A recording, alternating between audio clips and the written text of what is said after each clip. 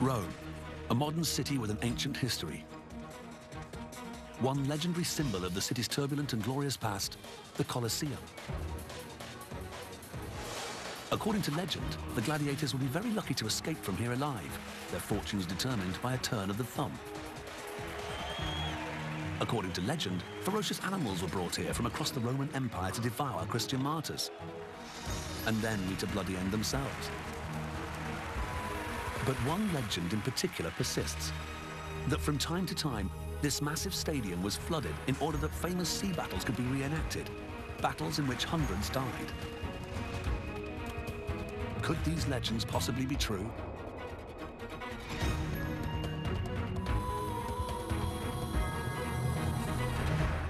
Find out whether the legends of the Colosseum are fact or fiction, Unsolved History has assembled a team of archaeologists, historians, and scientists to find the answers. Take them here and look at this. Look what's. Daniel Martinez is Unsolved History's chief investigator. Dean Abernathy and Bernard Frischer have built a virtual Colosseum. Heinz Beste is an archaeologist and engineer. Kathleen Coleman is a classical scholar. Marcus Junkelmann specializes in the history of the gladiators. And Martin Crapper is a hydraulic engineer. By combining historical evidence with the scientific tools of the 21st century, Unsolved History's team of experts will take us back to the first century, showing us the Colosseum the way it was then.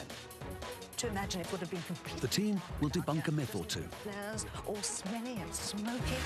unearthing new evidence about the engineering feats of the Roman architects, Wow, this is amazing down. And if you look down there, you know, they were probably watching shedding new light on what it was like to be there, either as a spectator, there for fun, or as an unwilling participant, about to meet a bloody end.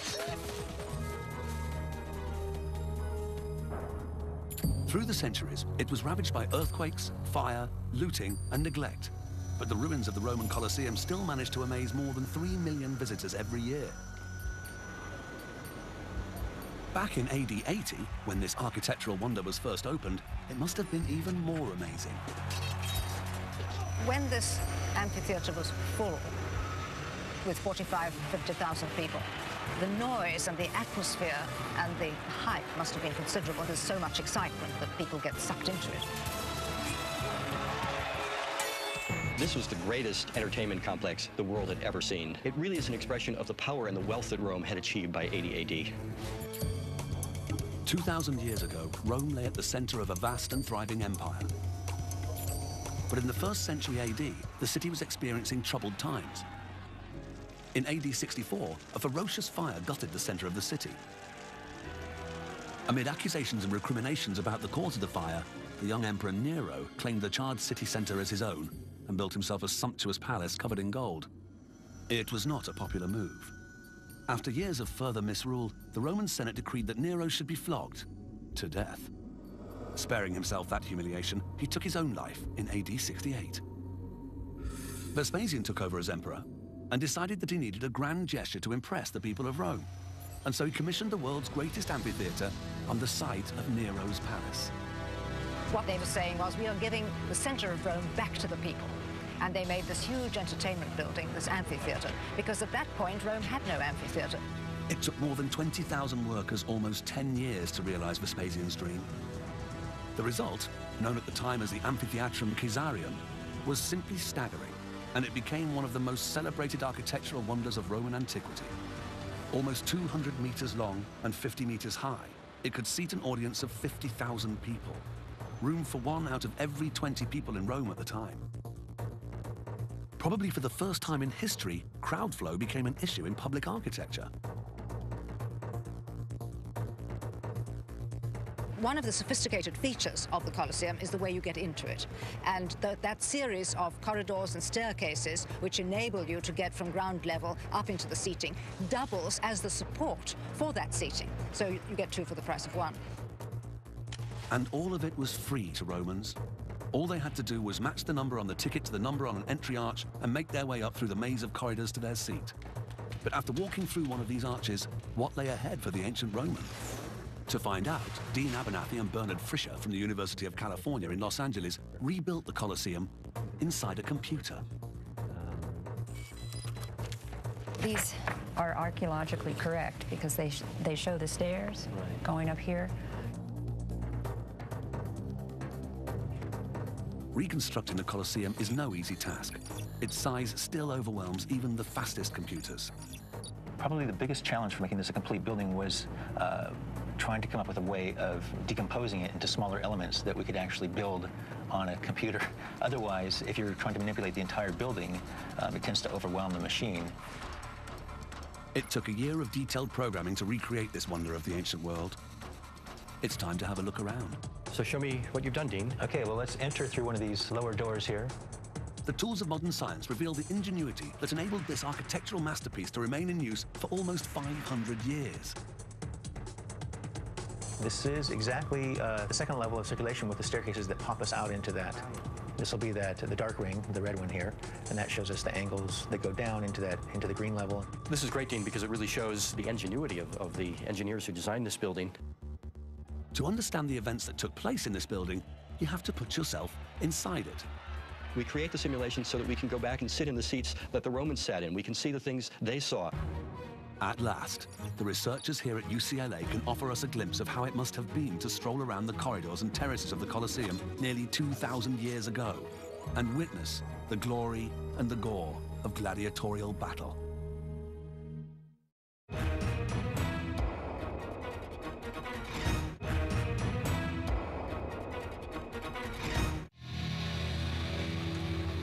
After two millennia, the Colosseum is still Rome's crown jewel.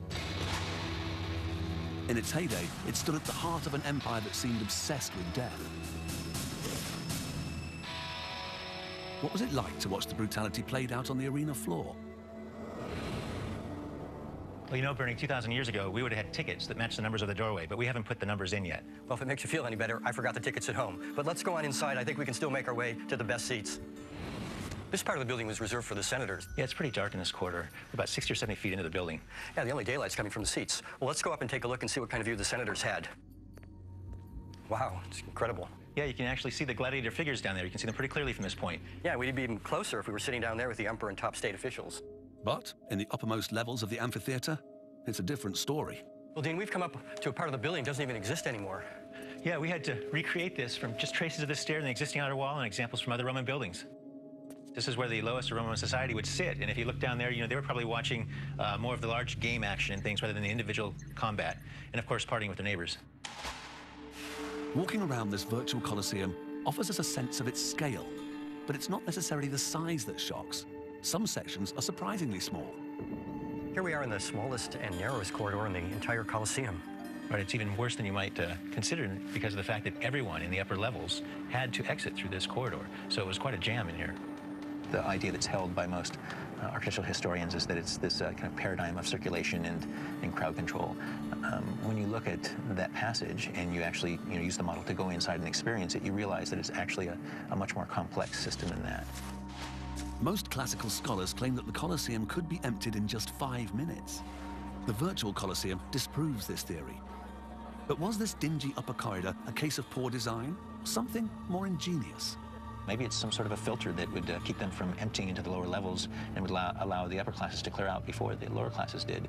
So in that sense, it's rather than just optimizing circulation, it's sort of you know controlling it and tweaking it in a very sophisticated way.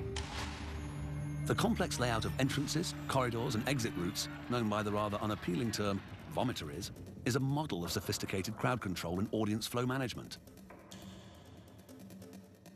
It's a design that today's stadium professionals know well, they're still using the same principles 2,000 years later. You can walk into any arena, any stadium in this country alone, and I think internationally as well, and you'll see the similarities of the designs, the various vomitories, how they were doing people moving in those days, how they got people to the upper uh, levels of seats, how they got them to the bottom levels of seats. The Coliseum is the mother of all arenas. And just as modern stadia have their corporate suites and VIP boxes, it's clear that the Colosseum was segregated according to a person's social standing. The whole of Roman society was present in the Colosseum, all properly arranged according to their status in the society. So at the bottom on the south axis, right up, up against the arena, you had the emperor. That was a prime viewing position. And around him would have been the Senate, because they were the most important order in society. Behind them, the equestrian order, who were also one of the upper classes. Next came the freemen, and above them, in the uppermost tiers, the ones with the worst view, the women and slaves.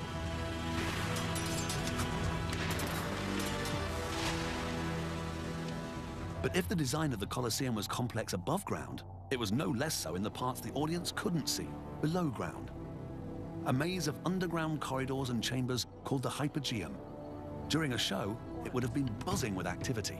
Now, Daniel, you have to imagine it would have been completely dark down here, just lit with flares, all smelly and smoky. Because of the arena floor above. Well, not only that, there was a second story down here. I see. Yes, look at that arch. That would have supported another floor, so there were actually two floors down here. The two levels of the Hypogeum were linked to the arena floor above by a system of human-powered lifts. Uh, Look, just look at that. That's for a winch. Oh, they would turn it. Yes, yes. That it would would help have raise an elevator? Yes, and here on the left we can see a very good example of an elevator. You can see the grooves. Look at the middle groove there. That's where the elevator would have fitted. And the counterweights would have slid down this possibly. Yes, on both sides actually. You can see the other slot on that side. I so see. everything could be raised up through there. During a show, stagehands under the arena floor created effects that must have astonished the crowd above. They could make a ferocious lion appear, as if from nowhere, or lots of lions, if that's what it took to satisfy the crowd. The trapdoors would pop open and then in would leap some poor terrified creature, some exotic animal from the furthest reaches of the Empire. It must have seemed as though it was magic. The magic of a day at the amphitheatre usually began with the animal action, often a dramatic reenactment of a heroic hunting story set in some distant land. The animals that were displayed in these games were all different species. Uh, lions, rhinoceroses, ostriches, tigers, all kinds of animals, brought from the far corners of the empire. These animals were the fruits of Rome's global dominion, brought to the capital for the common man to see and see killed. In the alcoves around the arena, archers were positioned to protect the crowd from any vicious animal that might try to escape.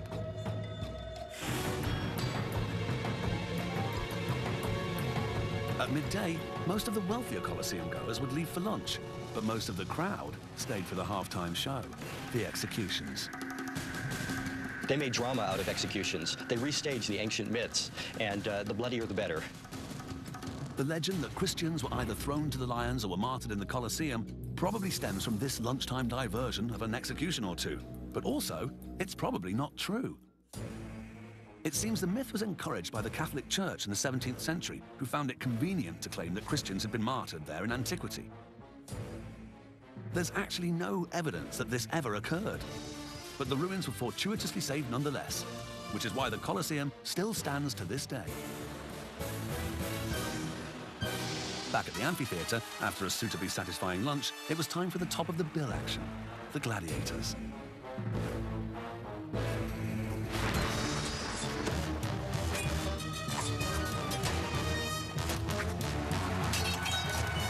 It was the most dangerous combat sport of all timers. Most people imagine gladiatorial combat as a fight to the death, and that all gladiators were basically the same, armed with a sword and shield. But historical evidence paints a different picture. There were, in fact, many different forms of gladiators, each waging a specialized form of combat.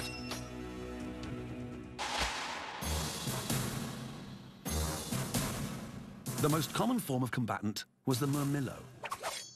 Based on a Roman legionnaire, he was heavily armored with a long, curved rectangular shield, the scutum, a short sword, padded protection on his right arm, and a short leg protector, or greave, on his left leg. The secutor was a variant on the murmillo, differing only in his helmet, which was less ornate, and the eye holes, which were much smaller.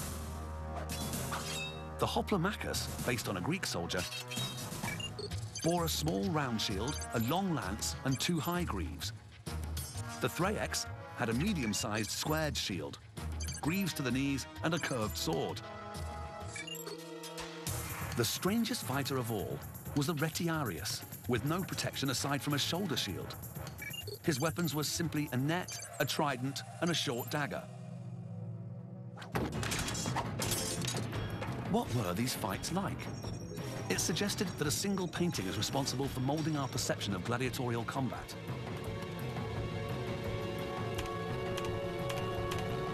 In 1872, French painter Jean-Léon Gérôme created this famous work, Pollice Verso. Gérôme made every effort to get the historical details right. Most people think he succeeded. It's said that this image inspired the look of the film Gladiator. But is it accurate?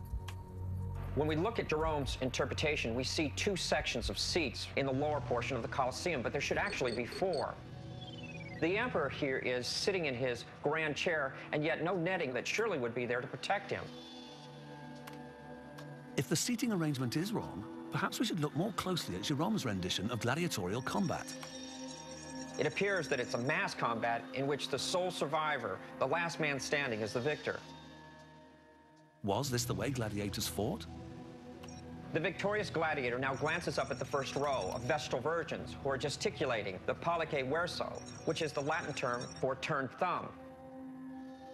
Gérôme translated turned thumb as thumbs down, but that was just a guess. Did the Roman crowds ever make this now notorious gesture? Gladiatorial combat was very, very professional, and the gladiators are highly trained. One should think of it perhaps in terms of the modern the boxer or the fencer. Military historian Marcus Junkelmann is a leading expert on gladiatorial combat. He's even created his own troop of fighters. This practical research gives him the insight which is lacking in the history books. The normal impression that uh, gladiator combat in the arena was a, a, mess, was a, a chaotic melee of, of, dozens of fighters and all, all against all and without rules is completely wrong. Contrary to popular depictions, a referee would always be close at hand and only two gladiators would fight at a time. The Romans also had specific formulas for pairing types of gladiators. This is a classic couple of large shield men, the Murmillo against the small shield men, the Trax or Thracian.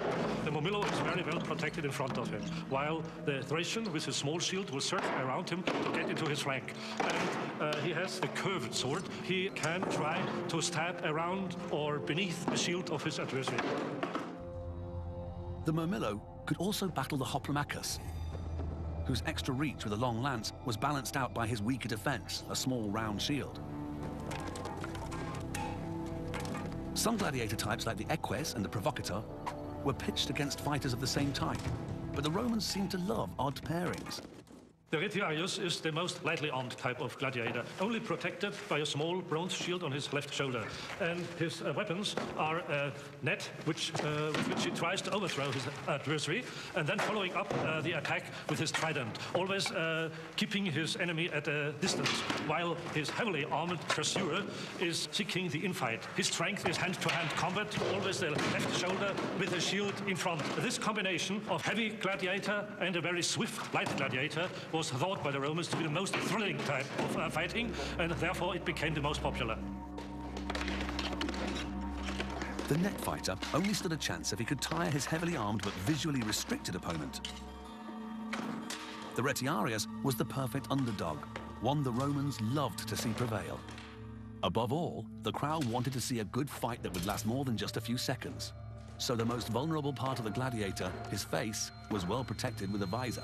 I think the, that the visor, which takes away your personality and makes you almost like an impersonal monster to make a fighter more aggressive to attack his enemy in a worse manner than he did when he would see his face. But how did the duels end? Not always with the death of one of the combatants. The scale of bloodshed is extraordinarily exaggerated. About 20% of the fights ended with a death, 80% survived. Many battles ended in a draw, both gladiators walking wounded from the arena. But if one man could no longer keep up with the fight... Then he dropped his shield and raised his uh, left hand with a finger stretched out. In that moment, his adversary was no longer allowed to attack him. Whether the defeated gladiator should now live or die depended on the whim of whoever had paid for the games and the roar of the crowd. If the crowd felt the loser had fought well and hard, they would urge his pardon. People made a fist with uh, the thumb pressed on and cried, Missum. Then he was beaten but alive and could leave. But if the crowd were unimpressed, or if he was too badly injured to recover, the outcome would be swift and final. He had to accept this as a death sentence, like uh, an execution. He had to kneel down and, without showing any emotion, uh, awaited the death blow by his adversary, who stabbed him normally into the throat. And what of the famous thumbs down death sentence? The historical evidence suggests an alternative gesture, not thumbs down, but the thumb pointed to the throat, mimicking the final deadly blow of the victor's sword. So, Christians probably weren't martyred here. Gladiators didn't always die. The thumbs down gesture is a myth. Indeed, the place wasn't even called the Colosseum. So what of that other legend? The one that suggests that full-scale sea battles were staged inside the amphitheatre? Is this another tall tale from antiquity?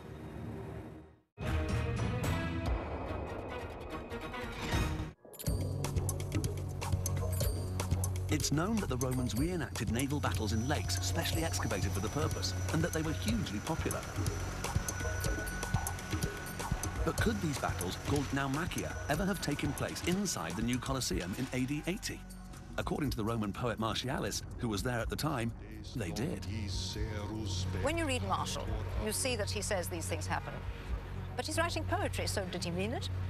If he meant it, then how do we explain the mechanics of it all? He talks about the miracle of uh, a visitor to the arena arriving rather late and finding that instead of land in the arena, there was sea. But to create a temporary sea in the Colosseum would have required some major architectural plumbing. Historian Daniel Martinez decided to investigate. I'm in the center of this tunnel, and as I work my way down, I start to see artifacts on the higher level. Normally, the water would flow right through here on its way out, but debris up here could only be here if there was a great flood of water coming through or a naumachia. And if that's the case, then the debris and mud is caked up here. And look at this. Look what's sticking out. All along here are pieces of what looks like shards and pottery, but this is bone with teeth in it. So the drains were clearly designed to cope with large volumes of water. They could be closed off when necessary. Vertical slots in the walls suggest they were fitted with sluice gates. But where was all that water contained? Obviously, it must have been in the Hypogeum, but the existence of this two-story maze of stone and brick walls would make staging a naval battle impossible. But then, archaeological engineer Heinz Beste made an intriguing discovery on a dig in the Hypogeum in 2002. As he scoured the floor of this underground labyrinth, he uncovered some large stone blocks cut with square holes. At first, he thought they were part of the Romans' ingenious lift system. All'inizio, quando when we first saw these square holes, we thought they were for the elevators or the winches, just like the circular holes. But then we began to discover more, and we noticed that there was a regular pattern. Eventually, Beste found 18 blocks with these square holes. When he plotted them out, the pattern looked like it was part of a bigger design. It was. The Hypogeum we see today is not the way it always was.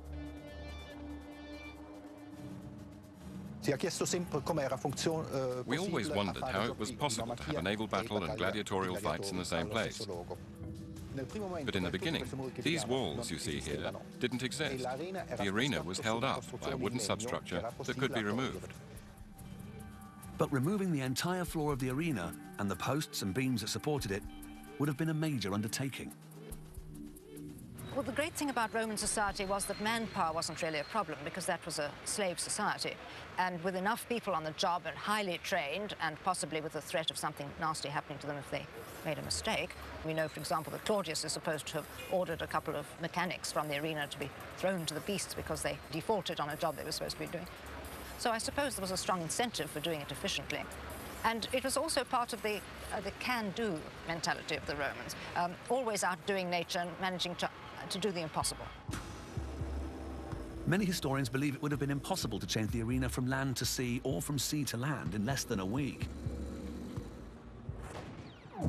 But at a stadium in Los Angeles, Lee Zeidman was able to prove that the impossible can be done. He manages the changeover between huge sporting events seats coming in here.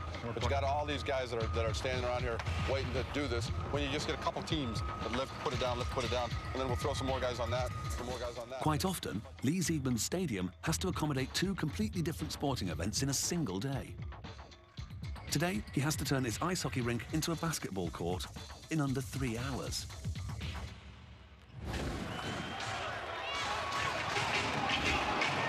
So we're just about ready for the uh, game to end. There's about a minute to go in the game, and the guys are going to get ready. The first thing that's going to go out there is a Zamboni. That's going to have to clean the ice.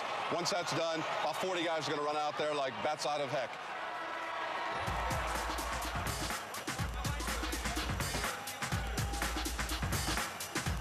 First, they'll start to bring the subfloor down that's actually going to go over the ice. Once that floor goes down, then we'll start to build everything up, up above that, similar to what they probably did in the Roman Coliseum days where they build the subfloor.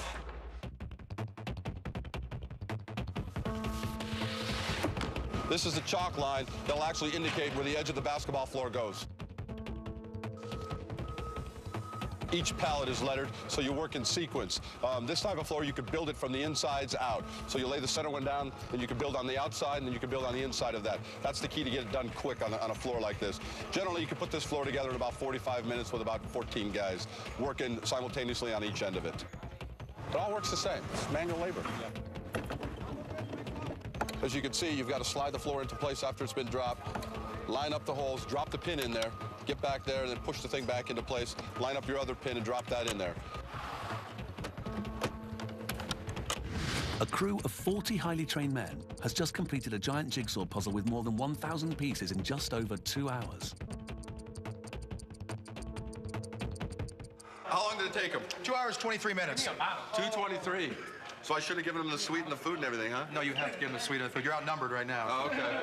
223. Great job, guys. You guys did a great job out there today. Now, you know what? If you didn't do a good job back then, they would have thrown you to the Lions. Here, we're not even going to do that, are we? We work for the Lion. Yeah, right. So, could the Colosseum's five-meter high subfloor be assembled in less than a day? To Zeidman, the job looks familiar. What you would probably have is various beams and they would all notch together, similar to what a basketball floor does nowadays. It's, it's not one continuous piece, it's tongue and groove. There had to be some kind of metallic coupling that they would have engineered and put this together. Even the work schedule looks feasible.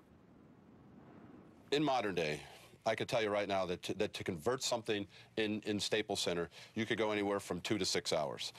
Here you're talking about such a such a surface and such a design that a obviously they had to have a good plan. They probably would break this up into quadrants, and I think the minute they got that water out of there, you can throw maybe 50 guys or so per each quadrant, then have your rest of your crew that actually lug the stuff in there, and this could conceivably be done within an 18 to 24 hour period.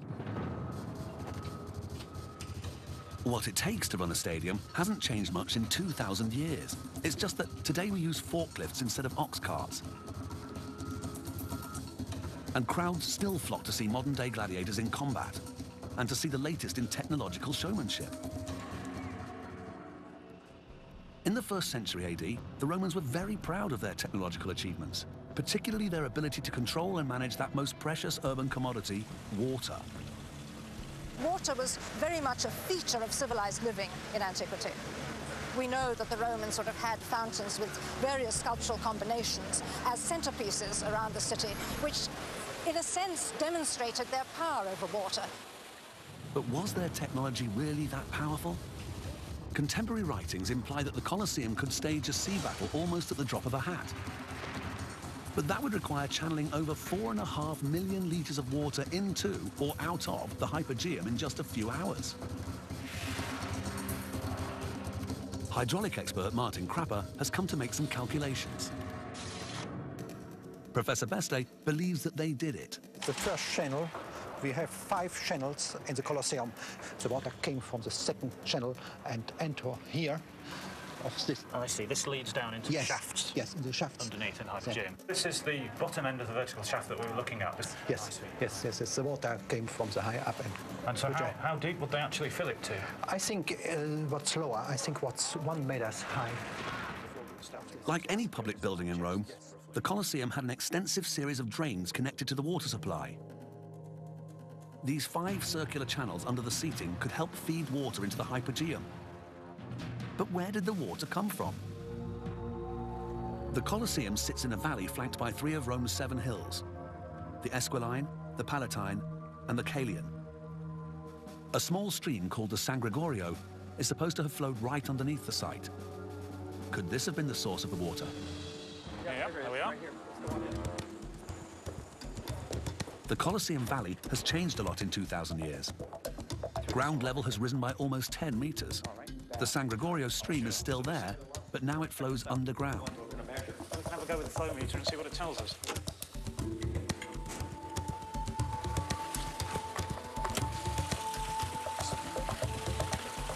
Giving us a sort of 0.03 meters a second. So that's pretty low, low flow speed. And it's not a very big channel either. It's about a foot wide and maybe six inches deep. So um, that's a pretty low flow. It would not have made a significant contribution to filling the hypogeum, for instance. So if the local water supply was insufficient, the Colosseum must have been linked to ancient Rome's aqueducts. This 100-kilometre-long network of channels was the pride of the empire. But was it big enough to supply over a million litres an hour? The rate needed to flood the Colosseum overnight. Somehow, Dr. Crapper has to calculate the amount of water that flowed through a system which hasn't existed for 1,500 years. Fortunately, one of the channels is still flowing, but it can only be reached by a little-known access point. Today, the Aqua Virgo supplies the Trevi Fountain. 2,000 years ago, it was just one of 11 aqueducts crisscrossing the ancient city. The speed is about 0.3 metres a second. That gives us a flow rate uh, of about 80 gallons a second, something of that order. Water level's quite well below the arch there. In ancient times, this would have carried more flow than this, so probably at least four times that. This ancient channel is the vital link Dr. Crapper needed to assess Rome's water system. By calculating the flow through this channel, which passes just 150 meters from the Colosseum, and its height above the arena floor, he can determine exactly how long it would take to flood the hypogeum. Taking into consideration the size of the actual inlet pipes you've got um, and the amount of water you could reasonably expect to get through those, I reckon it would perhaps have taken six or seven hours to fill the hypogeum of the Colosseum, certainly much less than a day, so it is a practical thing to do. So, our research has shown that the stagehands could have removed the arena floor, the drains could have been sealed, and the hypogeum could have been flooded to a depth of one or two meters in less than half a day. We know the Romans could have done it. Wow, this is amazing, down. But we still don't know whether they did. Watching on the stairs are pretty steep here. Evidence that the Colosseum was designed to be flooded would be significant. This is a Roman cistern, one of the few left. The Romans were experts in materials science, and large water cisterns and baths were routinely lined with a coating of high-quality waterproof mortar. Here's the main inlet from the aqueduct. A technology which the Romans invented and perfected. The water would spill into the That's correct, yeah. How quickly? Mm. Well, the mortar here has kept this building functioning and watertight for 1,800 years. If the designers of the Colosseum's underground hypogeum knew that it was going to be flooded, they would have coated it with waterproof mortar, similar to that in their cisterns. But did they?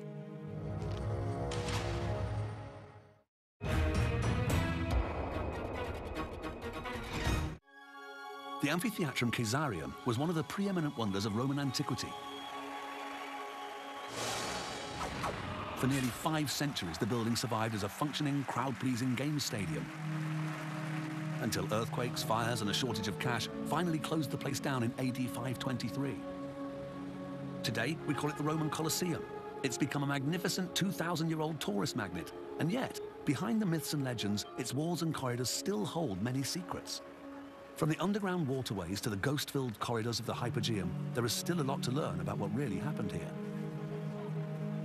One of the most perplexing questions concerns the chemical composition of the walls in the basement. Well, here is a thin section of the Colosseum. Uh, it's very nicely done. Professors Rudy Wenk and Paulo Monteiro, experts on concrete, are looking for signs of a key Roman waterproofing ingredient, a volcanic sand called pozzolan. Oh, before you go, maybe you should check. If they find what they're looking for, then perhaps they can prove that great sea battles were staged here. The Romans did not use this pozzolanic material in every construction. They were very careful in using it. It was expensive. So they would only use this pozzolanic hydraulic cement if they have a need for that. But for the mortar to keep out the water, the volcanic sand had to react to create a gluey paste, filling all the microscopic pores. For the sample from the cistern, the formula was perfect. Really, this is fantastic concrete. We see no pores. It would be very hard to duplicate even with modern concrete. This is amazing achievement. But the Colosseum sample was not so clear-cut. I think we should go to, uh, to the electron microscope. Definitely. Under an electron microscope, the picture became clearer. I'm zeroing in on that spot now, and we do a chemical analysis on about a one micron area. Let's see what it is. Okay, we've got a big calcium peak, got a small silicon peak. And finally, X-ray analysis searching for the chemical fingerprint of the volcanic glue. Here's the cistern sample. The hump shows this is strongly waterproof. Now, the mortar from the hypogeum of the Colosseum. The hump is there, but it's much smaller. Kind of disappointing. I was expecting to have a big hump and say, aha, we don't have that. It's clear indication that they use some pozzolanic material. And if the intent was to achieve a waterproof system, uh, I would claim that did not do as a good job as they've done in other cases. So although the hypogeum walls were certainly waterproofed, it was not done in a way that would have offered years or even centuries of protection, as is the case with the other big Roman water systems. The question is, why not? The fact that the mortar that lined the basin of the Colosseum couldn't withstand repeated flooding is not at odds with the historical evidence.